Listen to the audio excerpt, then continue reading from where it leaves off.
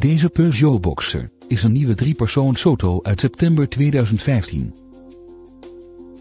De bestelbus heeft een dieselmotor met een handgeschakelde transmissie en heeft diverse veiligheidssystemen, zoals parkeersensoren, mistlampen, ABS, ESP en een airbag.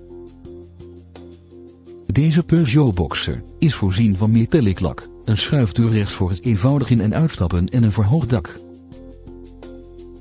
Het optiepakket van de auto is samengesteld uit onder meer getint glas, een bestuurderstoel met verstelbare zithoogte en centrale deurvergrendeling met afstandsbediening. De bestuurder heeft verder de beschikking over onder andere een radio met cd-speler, een achteruitrijcamera, cruise control, een airco en verwarmbare buitenspiegels. Kom snel langs voor een kennismaking of een proefrit in deze auto. Onze medewerkers staan nu graag te woord.